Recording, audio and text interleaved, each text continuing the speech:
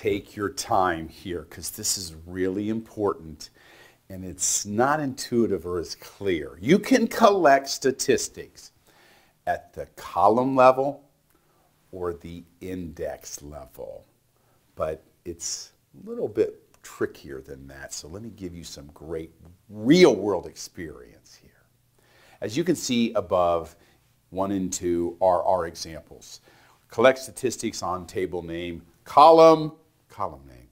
That's collecting statistics at the column level. Here's collecting at the index level. Collect statistics on table name, index, open paren, and whatever column is the index. But you will always collect at the column level unless it's a multi-column index. Now, stay with this. I've got some examples here for you. In our first example, collect statistics on employee table column, employee number. That's actually the primary index. It's a single column index. So anytime you have a single column index, you always say column because sometimes indexes are dropped if they're secondary indexes and those statistics could be gone. So the bottom line rule is if you're going to collect statistics on any single entity, you always use this column format, even if it's an index. In the next example, we're actually got a column here that's not an index. Collect statistics on employee table, column, department number. You know, we're joining these employee tables to department tables on DEPNO. That's the join column, not an index in this case, but we join on that column. So we're going to collect statistics at the column level. The first two examples are column level statistics, even though one's an index.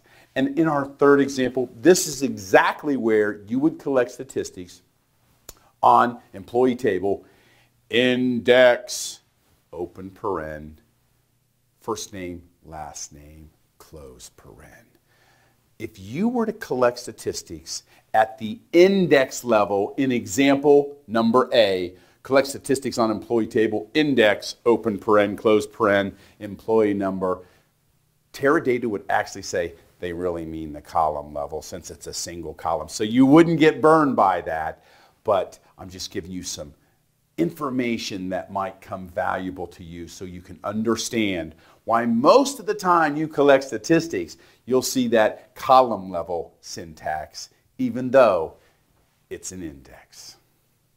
This is important, so I want to make sure you see a lot of examples, and the last example is going to really blow your mind. Collect statistics on employee table, column, dep, no, single column, not an index. That's how it's done. Collect statistics on employee table, column, employee number. That's the primary index, but it's a single column index. That's the way it's best done.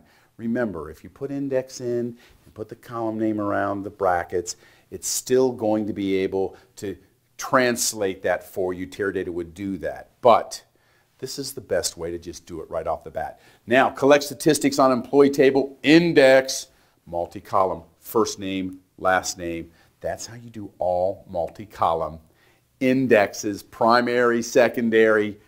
Collect statistics on employee table, column, open paren, employee number, DEPNO. You see, these two columns are going to be used in the where clause of statements together all the time. So that's why sometimes you're going to actually collect at the column level multiple columns because you know it's like bread and butter in that SQL where clause. And lastly, this is interesting. Collect statistics on employee table. Hey, is that going to collect all statistics on all columns? No. That's how you refresh statistics. So let's look at this. We collected on DEPNO, EMPNO, the index, first name and last name, and then the combined columns of employee number and DEPNO. When we load more data later, the rule of thumb is about 10% of the data changes. You recollect statistics, and you do so by saying collect statistics on the table name, In this case, it was employee table.